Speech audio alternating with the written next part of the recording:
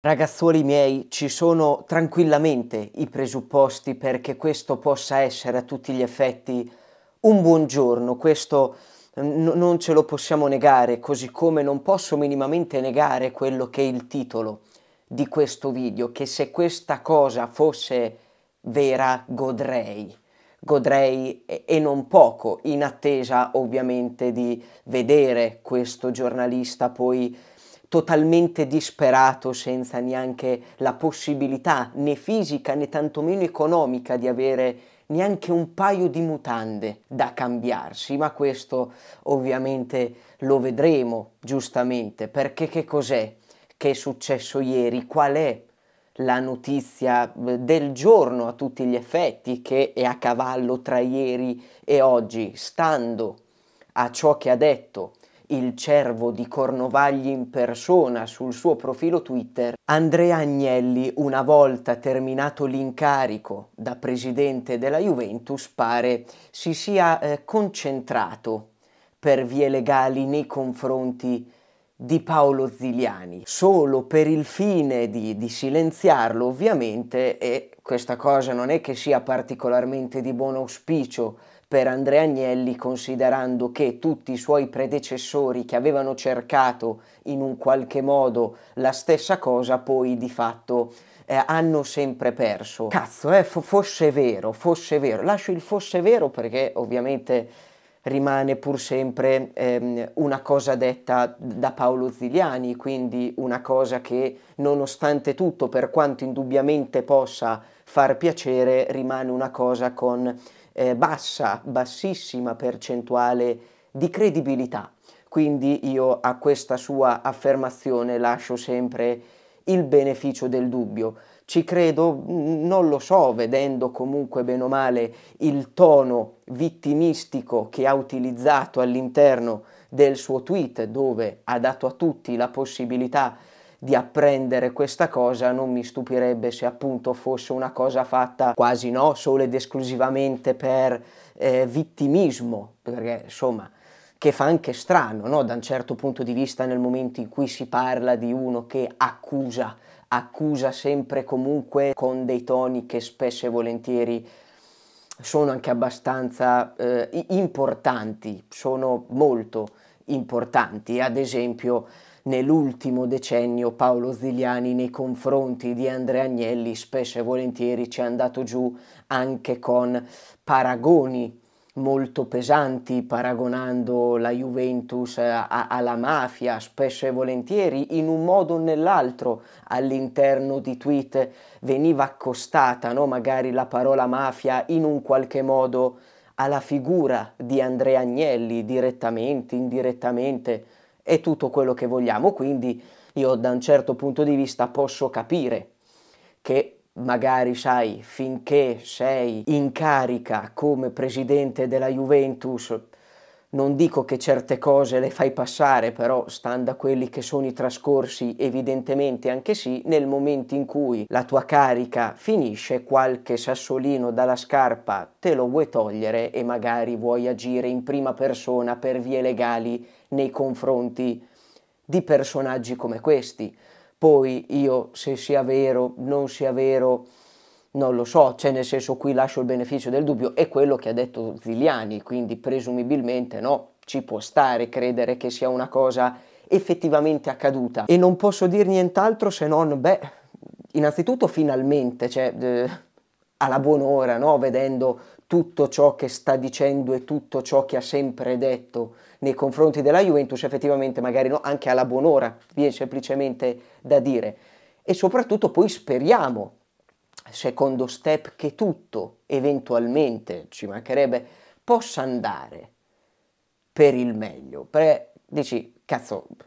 considerando eh, la gravità di molte cose che ha detto, magari anche in questo caso no, proprio nei confronti del diretto interessato, come si fa a perdere a uno banalmente, no? Potrebbe venire da dire, non lo so, lascio sempre il, il beneficio del dubbio, non lo so, non lo so, effettivamente non lo so. Se tutti gli altri avevano perso, magari, oh, bravo lui che riesce sempre a vincere nonostante accuse o comunque insinuazioni, lazioni che puntualmente, spesso e volentieri, vengono fatte. Però non so, onestamente ragazzuoli, sono sincero, se crederci profondamente oppure no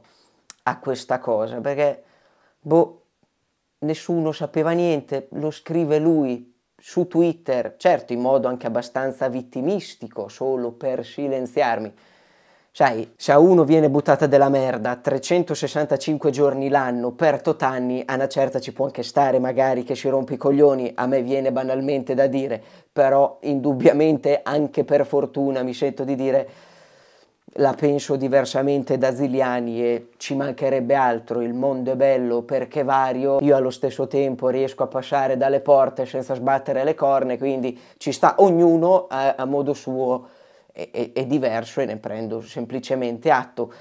L'unica cosa che davvero mi auguro non è tanto il fatto che sia vera questa cosa, e la speranza appunto di vedere Ziliani con neanche un paio di mutande da cambiarsi. Ecco, la mia vera, unica speranza onestamente è questa qui, cioè né più né meno, non è che ho particolari cose da aggiungere. In primo luogo tocca stare a vedere se effettivamente è vero, è già qui, non lo so. In secondo luogo Spero che Agnelli vinca e poi per terminare, naturale conseguenza delle cose, Ziliani senza neanche un paio eh, di mutande, ecco, tanto voglio dire. Gli alimenti non sono un problema, lì ci pensa Montero, poi per il resto, chi lo sa, per il resto poi oh, tutto, può, tutto può accadere, ci mancherebbe altro, però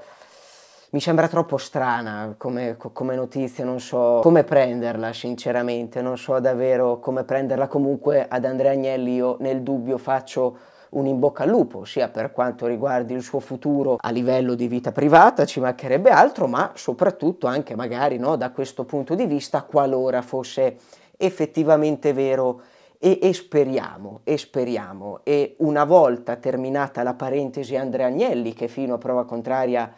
sì, rimane in parte un proprietario della Juventus perché comunque una quota anche abbastanza importante di azioni indubbiamente le ha, io ora onestamente mi auguro che anche la Juventus stessa